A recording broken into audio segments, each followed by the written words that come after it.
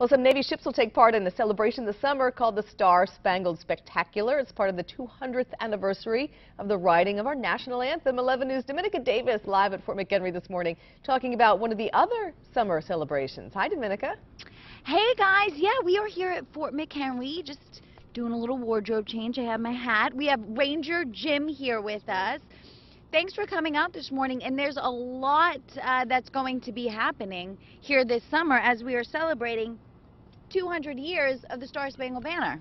Absolutely. It's going to be a star spangled, spectacular summer. Uh, we're going to have living history five days a week, cannon firing, fifes and drums. Uh, the Army and the Navy are going to be here for special tattoo ceremonies in Oh, late wow. June, early July, and August. Uh, the Pride of Baltimore will be in the Chesapeake uh, all summer, uh, calling at uh, Ocean City and St. Michael. So hit up their website, pride2.org. And for more information about what's happening at Fort McHenry, come on down. Yeah, so this all kicks off the uh, 28th and it's going to go through the summer, so that's really until mid-September. That's correct. So there'll, yeah. there's just be uh, a number of things to do. There already are a number of things to do here anyhow.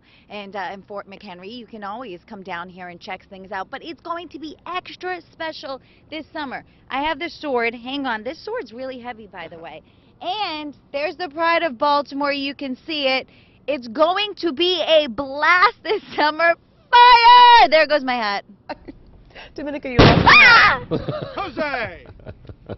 Oh. Blew her head off. Wow, I didn't even know that was going to be so loud. Okay, well, So, Domenica, you wore that you wore that hat to Preakness, didn't you?